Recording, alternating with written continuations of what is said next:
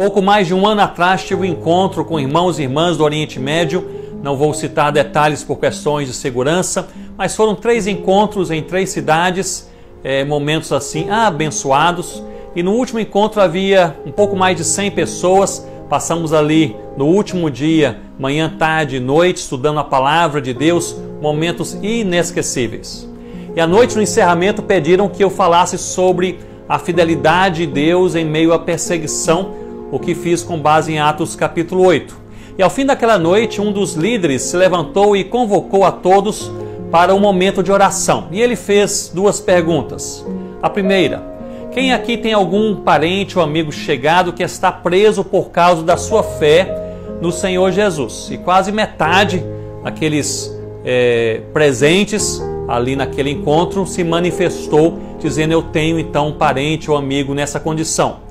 E a segunda pergunta: quem está aqui sendo desprezado por sua família por causa da sua fé no Senhor Jesus? E muitos outros também se levantaram e se, e se manifestaram dizendo: Isso acontece comigo.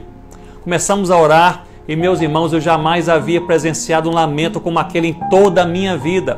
Era oração e choro, clamor, lamento profundo.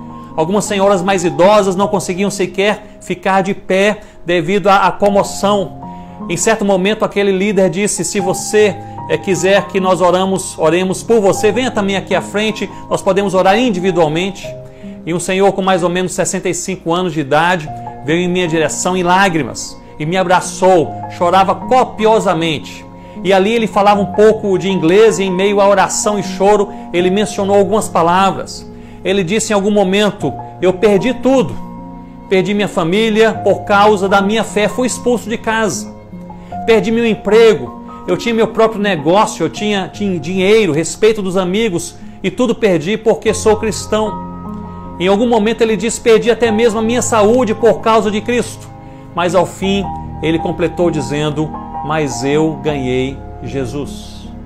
Minutos depois, alguém se levantou e começou a cantar um lindo louvor a Deus que falava sobre a fidelidade do Senhor.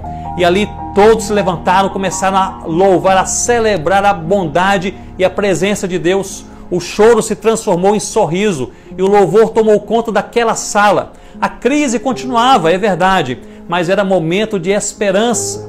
Agora sei que temes a Deus. Quando crescemos com uma fé inabalável, o choro pode durar uma noite, mas a alegria vem pela manhã.